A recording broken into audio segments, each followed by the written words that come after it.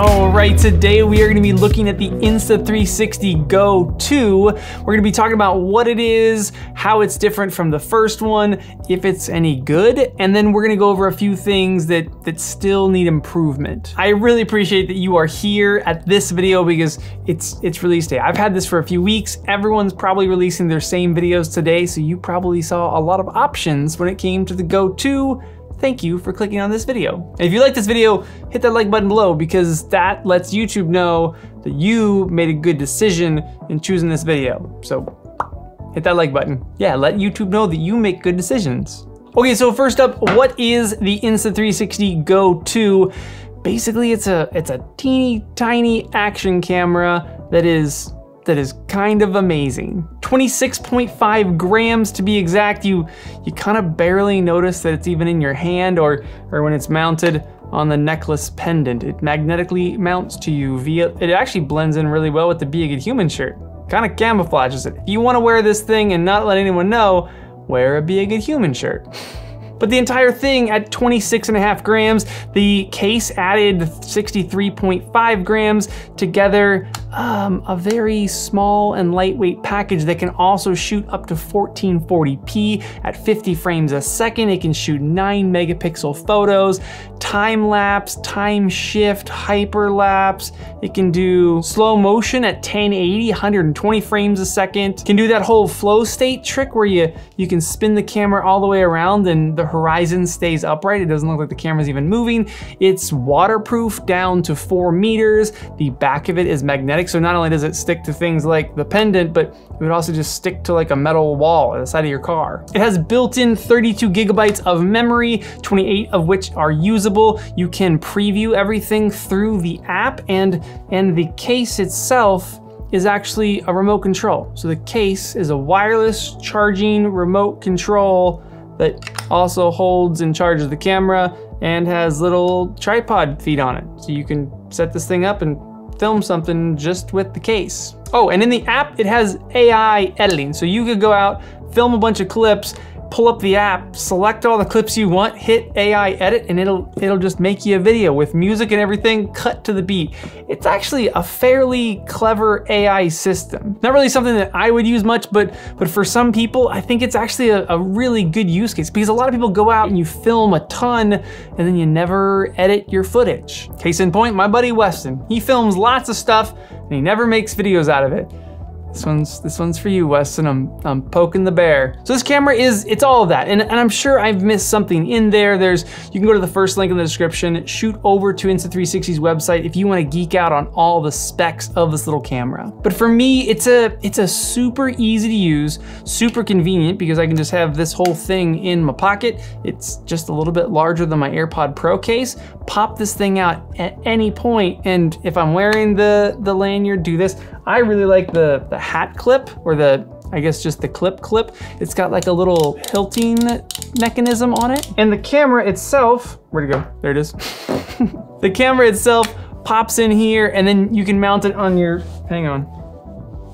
You can mount it all sorts of different places, but what I really liked is my hat. This mount right here is what I've done almost all of my shooting with this camera with, because again, it kind of gives you that POV angle, right? I can do things with my hands and you see my hands as I'm, so if I'm climbing a ladder, like climbing a ladder or climbing a rope, something like that, you see me doing it. I actually took this out to the park with Eleanor. Morgan was blowing bubbles for her. Eleanor was running around. I was chasing her and I tackled her to the ground and in slow motion, this recorded this moment where Eleanor's on the ground and she's looking up at me and you see me tickling her and she is laughing her head off and dang, I just think of clips like that and I think of like like 20, 30 years down the road and being able to look back at moments like that. And that's what I think this camera's for. I think ugh, this camera is for capturing moments, right? That's that's what it's designed for. It's designed to disappear, to not be there so you can enjoy the moment and, and it'll capture it for you. And then the other thing that I look at this camera for is because it's so small, because it's so tiny, this camera can go places that my bigger cameras can't go. The reason that GoPro became so popular is because it could fit in spots that you couldn't fit a larger camera, right? Like you, it became a crash cam for everyday people. But then you bring something like this along and you say the GoPro, where's the GoPro? Look at the size comparison.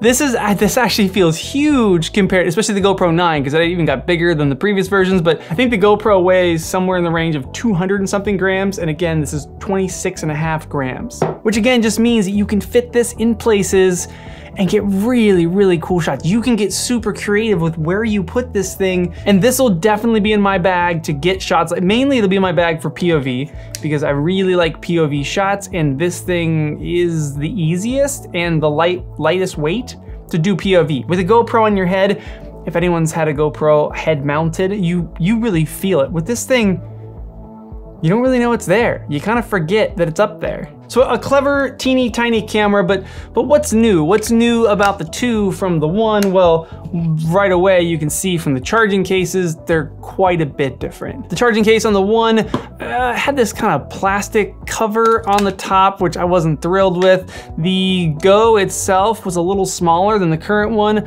but the case was, it was a charging case. That's kind of what it did. And then it had that lightning port on the bottom with this little rubber bit. I was never thrilled with the Go 1 case. Oh, and it charged via micro USB, which, mm, come on. And they fixed on the Go 2 case. So the Go 2 case First off, charges with USB-C, has a quarter 20 mount on the actual case because the charging case has this very robust hinge. So while the camera is inside of here, I can use it as a remote control, but also, let's say I had this on my head mount, I can now still use this as my remote control. I can change the mode, I can start and stop recording with this as kind of a wireless remote. The case is by far the most clever part of the, the new Insta360 Go. Oh, and also the Go itself has a replaceable lens cover now. Yeah, you just pop a new one of those on there and you're you're good to go again. But the real question with all this is, is this a good camera? Is it a decent camera? And, and the answer is, yeah, I'm actually quite impressed with how it performs for its size. Again, it only goes up to 1440p, 1080 at 120 frames a second slow-mo, but it looks really good. The colors are good, the dynamic range is good. I took it down to the beach and, and kind of did like a, a spin test. So you can see side light, you can see direct light, you can see backlight, and a camera this small with a teeny tiny sensor like that, I was shocked at how well it did in those different lighting scenarios. The colors looked great. It, it kept the shadows and, and pulled down the highlights really well. And uh, yeah, I'm actually very impressed with this camera. Now, can it compare to something like a GoPro Hero 9? It's a great question, and if you guys want to, comment below if you want to see a comparison video between the Insta360 Go 2, this teeny tiny little action camera, and and this big, now it feels big and heavy because I have this little tiny guy, but the, the Hero 9 Black, the flagship action camera, the, the king of the hill versus versus this little teeny tiny guy. Let me know in the comments if you guys wanna see that comparison. I think I think you might actually be surprised at the side by side. If you guys wanna see that though, I will make that video. Uh, the other part of this, this camera is the audio. The audio is, it's very good, or it's quite good, but it's terrible with wind. On the one, the sound wasn't great, and one of the main reasons was that there's, there's no wind muff on here. There's just like one little speaker up on top, and I think one bottom. I'm not sure, but I'm pretty sure just one on top. So kind of mostly wind would make it sound poor. So maybe if I duck, oh yeah, see down here, there's no wind. How does the go sound down here? Now we'll we'll go back up into the wind. Ah.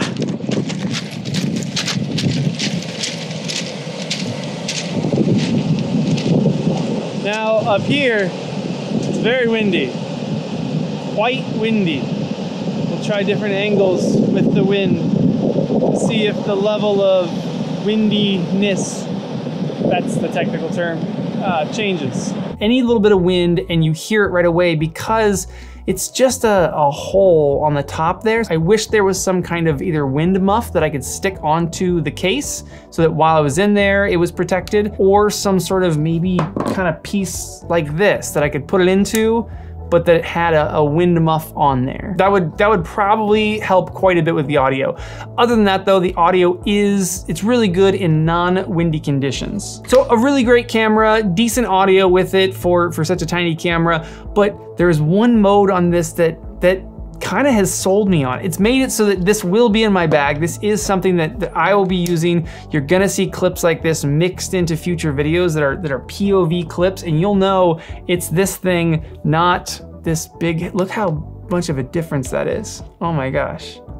Holy cow, that's so heavy on my head Yeah, you'll know it's this thing. But the one mode that's in this that, that really, really got me is Pro Video Mode. And Pro Video Mode gives you the flow state stabilization that we had in this first one where I can take the camera and I could hit record and then I could turn the camera all the way around 360 and nothing changes. The horizon stays upright. So basically like unlimited horizon leveling, really similar to the GoPro with the max lens mod. So the, the already large GoPro with the even larger lens mod on there, and then you can have the feature that this little teeny tiny camera can do built in. And then on top of that, in Pro Video mode, you can also change the field of view. So I can go from a wide field of view to a narrow field of view. I can change things in the actual app. So also I can go from a 16 by 9 this way to a 9 by 16 this way with the same clip. So I can take one clip that's, let's say 15, 20 seconds long.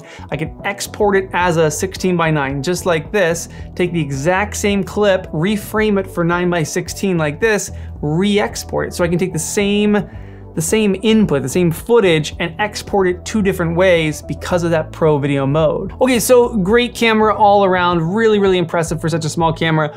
What could be improved on this? If, if I just had my dream, I could do anything I want, how would I improve this camera? The first thing would be that internal memory. With 32 gigs of internal memory, again, 28 of that actually being usable, I did eat it up pretty quick. And then once it's eaten up, I have to transfer those files over to my phone, then I can clear them off the camera, and then I can record some more. So once you fill this thing up, then, then it's a bit of a process to clear it out. Uh, next up is battery. The battery's, it's good. It's a 30 minute battery built into the camera, and I think you get 120 or 130 extra minutes with the case. So together you're getting a decent amount of battery, but if you just have that camera up top, something like this. I've only got about 30 minutes of recording before the battery dies. I then have to pop it out of this, put it back in the case. I can, I can use it like this now, but I can't pop it back on here for a while. I've gotta let that thing charge back up, which isn't terrible, but yeah, I mean, teeny tiny camera. It makes sense that the battery is tiny as well, but I like more than 30 minutes. Uh, and then lastly is another thing that's very expected for such a tiny camera, and it's low light performance. It's it's not terrible, but it's not great by any means. This is not a low light camera. In general, the larger the sensor, the better low light you have. Teeny tiny camera, teeny tiny sensor. And then the last two things, again, me being super picky here, is I, I, want the lights changed. One, I wanna be able to turn them off entirely, but two, I'd like it that when it was recording, that it was a red light. Right now, if it's recording, it's a, it's a white light, and that just doesn't make sense to me. I don't know why that bugs me so much, but a white flashing light does not mean recording. I know, that's a stupid one. Okay, the last one is this kind of case. One, the, the old version came with this case, which had a quarter 20 mount on it. You could kind of pop this thing off, and then boom, this was a quarter 20 mount. The new one doesn't seem to, I've been messing with this thing as much as I can. I cannot get it off. It seems like the only way to mount this to a quarter 20 mount or then any kind of action camera mount is with the entire case. So I have to have this entire thing, I have to have the camera in here, and then I can mount it via quarter 20 mount, but then this is a, a much bigger piece. I would love to have, like we did on the last one, just this piece in like a little slim case with a quarter 20 mount, or even better, a two-pronged action camera mount, like that, that GoPro two-pronged feet thing. Okay, that's all for today. Uh, I know we actually got pretty deep. This was supposed to be just kind of a first look, but let me know for real in the comments if you guys wanna see GoPro Hero 9 Black versus Insta360 Go 2 uh, a side-by-side -side comparison of these two. This thing looks huge now when I'm holding this, this now feel it feels like a big brick. It's crazy how big this suddenly feels when I'm holding this. Comment below. Let me know if you guys want to see it. I'm, uh, I'm gonna go film cool POV stuff. Yeah, I like it. The POV is my favorite part. I like that you can see your own hands doing things. It's just fun. POV is fun. Hit the like button. You guys soon.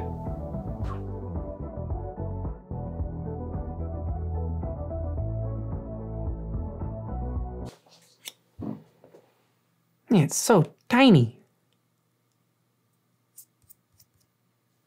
That is not what she said.